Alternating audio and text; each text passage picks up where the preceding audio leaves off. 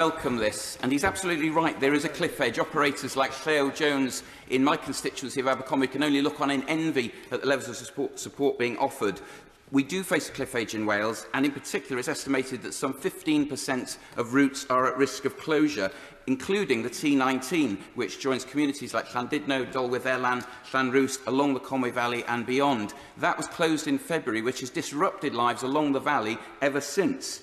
Will the Minister join me in um, pressing the Welsh Government, given its generous settlement of £1.20 for every pound uh, given in England, does he agree that actually there is space for the Welsh Government to find room for funding from within its own transport, bus, uh, transport budget to support routes like this?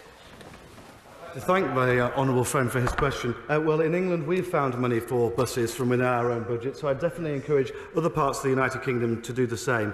I think in Wales, we've sadly seen a far too ideological approach, um, including with uh, changing speed limits right across the country at an estimated cost of £32.5 million. Uh, implementation alone with uh, major economic costs potentially knocking on as well. Uh, what I would say is that um, the, and, and the, the number of 15% that he mentioned is on top of what has that's already been lost uh, in uh, Wales. Uh, I'd, I'd just say to him that Wales cannot be a model uh, for the future and they really should look to the support that we're providing in England, including those lower cost fares um, for young people um, to deliver for them right across the country.